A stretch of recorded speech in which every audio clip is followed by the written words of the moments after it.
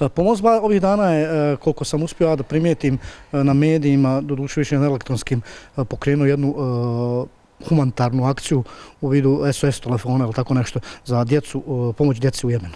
Jeste, evo imamo dakle i, i tu akciju, a, radimo dakle, aktivirali smo jedinstveni humanitarni broj 17014, pozivu na taj broj doniraju se dvije konvertibilne marke, a broj jedinstven dakle za sve operatere.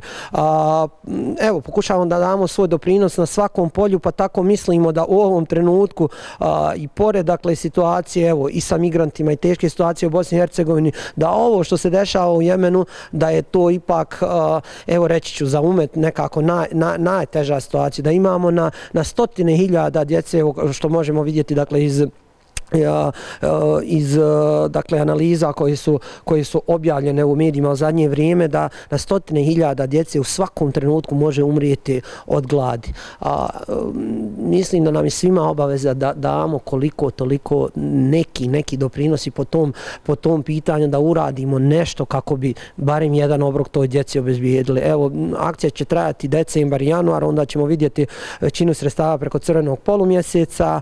A, vjerovatno ćemo nešto i sa Islamic Reliefom, sa organizacijom IHH iz Turske.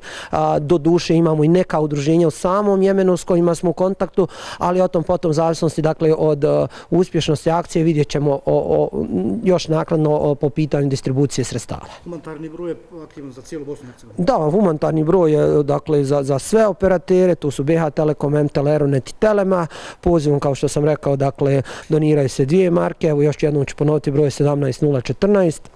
Tako da, evo, pozivam sve one koji, a, koji mogu, evo, ako ništa odvojiti te dvije marke da doniraju a, taj neki, dakle, obrok za, za, za djecu Jemene. Evo, čuli ste Elvira i poziv da pomognemo djeci e, Jemena koja gladuju bukvalno, pa okrenite ovaj broj i donirajte dvije marke.